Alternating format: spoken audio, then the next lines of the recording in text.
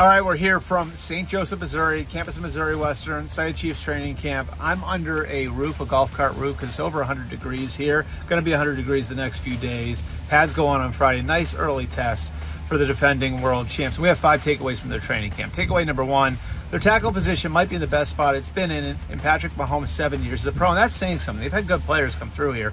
Eric Fisher, Mitchell Schwartz, Orlando Brown, but they really feel like left tackle Donovan Smith and right tackle Jawaan Taylor have a chance to raise the bar at the position. Smith looks re-energized coming out of his run as a Tampa Bay Buccaneer, and Taylor looks like he's going to be worth the $20 million they spent on him back in March.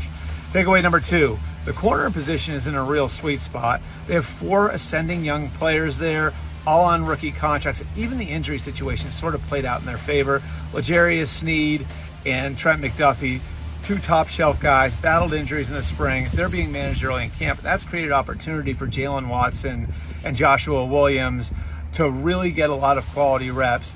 They feel like they're not only going to be good at that position, but pretty deep as well. Takeaway number three, if there's a spot that needs to be sorted out, it's definitely receiver, particularly after Kadarius Toney went down a couple of days ago. And that means young guys stepping up, two in particular. Their second round picks from the last two years, Skyy Moore and Rashee Rice. Moore has really taken a step forward early in camp. Looks like he has a chance to play an Albert Wilson type of role in Andy Reid's offense. Meanwhile, Rice has bounced back. He was up and down in the spring, but he showed up to camp in much better shape. They're optimistic he's going to be a day one contributor for them. Takeaway number four if there is a dark horse early in camp, it's another running back. Last year was Isaiah Pacheco, the seventh round rookie out of Rutgers. This year, it's a guy named Deneric Prince, an undrafted free agent out of Tulsa, 220 pounds, can catch the ball out of the backfield, can add to an already deep group. And then takeaway number five is real simple. Patrick Mahomes is Patrick Mahomes. The Chiefs are going to be good because of it. You see it out there on the field, but you also see it in leadership.